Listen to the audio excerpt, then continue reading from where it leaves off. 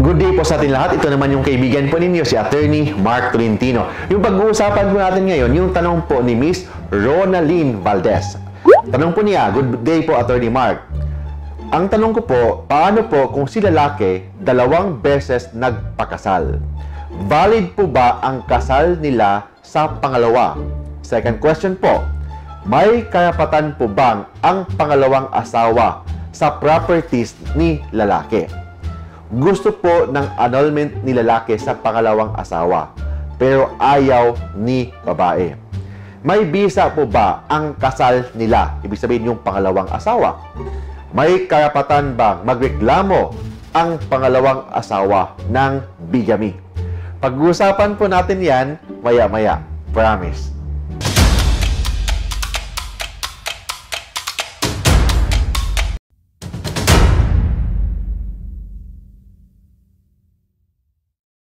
Good day po sa atin lahat. Ito naman yung kaibigan po ninyo, si Attorney Mark Tolentino. Yung tanong po ni Miss Valdez about po sa kasal. Tanong po niya, valid ba, may visa ba ang pangalawang kasal? Walang visa po yan. Kasi walang visa kasi isang beses ka lang pwedeng magpakasal. May exception dyan yung tinatawag na Sharia, Sharia court or yung Sharia law yung sa mga Muslim brothers and sisters natin. But yung mga hindi naman Muslim brothers and sisters, isang beses ka lang pwedeng magpakasal as a general rule. But may tinatawag na valid bigamous marriage. Pag-usapan natin yan in our next episode, ano yung tinatawag na valid bigamous marriage. But for, as a general rule, pag bigamous marriage, yung pangalawang kasal, walang bisa po yan. Kasi walang bisa, yung mga properties ng lalaki or there's no such thing as conjugal property kasi po, in the very first place, walang bisa po yung second marriage. But for purposes of remarriage, for purposes of declaration na walang visa yung second marriage, kailangan mag-file ng annulment of marriage. Kahit na hindi pumayag kasi there's no such thing as sabuatan, hindi naman kailangan na pumayag yung pangalawa or yung una para mag-file ka ng annulment of the second marriage. Kasi pwede ka mag-file ng annulment on the ground of bigamous marriage. But ang tanong dito, uh, ang tanong dito is with respect sa properties. Okay, properties, walang visa. And pangatlo, walang, wala silang share, wala silang pwedeng paghati-hatian kasi walang silang properties. Pangatlo, yung pangalawang asawa, pwede ba mag, mag-file ng bigamy? Okay. Or yung unang asawa, pwede ba mag-file ng bigamy? Yung unang asawa, pwede ba daw mag-file ng adultery? Okay. Yung unang asawa, pwede mag-file ng bigamy. That's a criminal case. Iba yun sa annulment of marriage. We are talking here of bigamy as a criminal case. Yung unang asawa, pwede mag-file ng bigamy. But yung pangalawang asawa, pwede rin mag-file ng bigamy kung hindi niya alam na siya pala ay pangalawang asawa. So yung second wife, pwede mag-file ng bigamy kung hindi niya alam na kasal pala yung asawa niya. Okay. Yung unang asawa, pwede rin mag-file ng bigamy kasi yung asawa niya nagpakasal sa iba. Okay. Another question.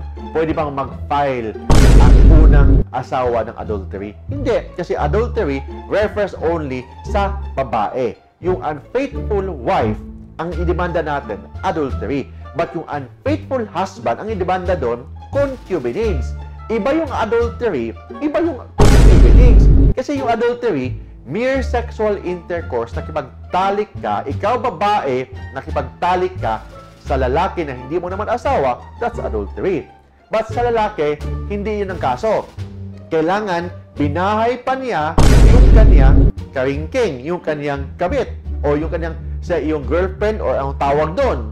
So, ibig sabihin, yung kanyang concubine, kailangan binahay niya.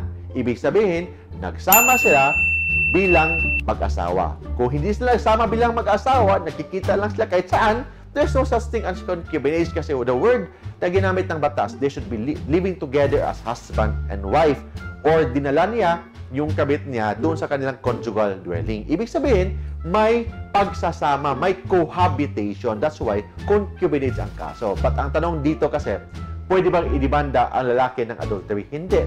Kasi adultery refers only sa mga unfaithful wife. Hindi yan refers sa mga unfaithful husband.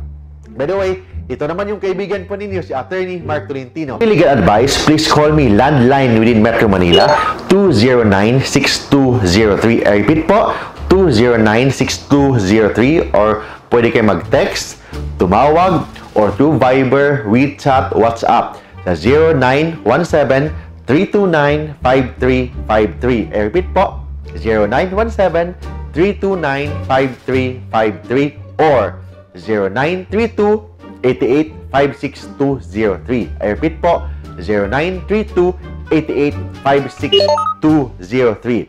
Please like, subscribe, and share my Facebook page sa facebook.com slash Mark Tolentino Law. I repeat po, facebook.com slash Mark Tolentino Law. And of course, my YouTube page sa youtube.com slash Mark Tolentino Law. Thank you po.